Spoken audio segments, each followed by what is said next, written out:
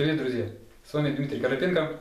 Это кратенькое видео посвящено теме IELTS э, Listening and Reading, то есть э, аудирование и чтение. Маленький такой нюанс, который, тем не менее, как я часто смотрю, может добавить вам пару баллов да, или убавить. Итак, э, частенько я вижу, как люди при подготовке, и естественно, как можно логично, логически предположить, при сдаче теста недостаточно внимательно смотрят в инструкциях, написанных в начале, как бы перед текстами или в процессе вот, аудирования перед этими там местами, где нужно вставлять слова, э, сколько же слов нужно написать. Это элементарно все, но тем не менее, ну если написано там write no more than two words and or a number.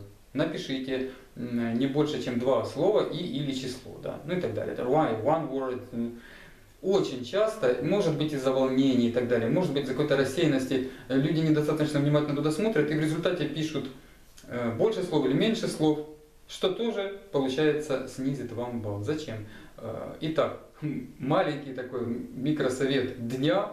Очень внимательно всматривайтесь в то, что написано в инструкции, сколько слов вам нужно вписать в текст, ну куда-то там, какую-то форму. Да?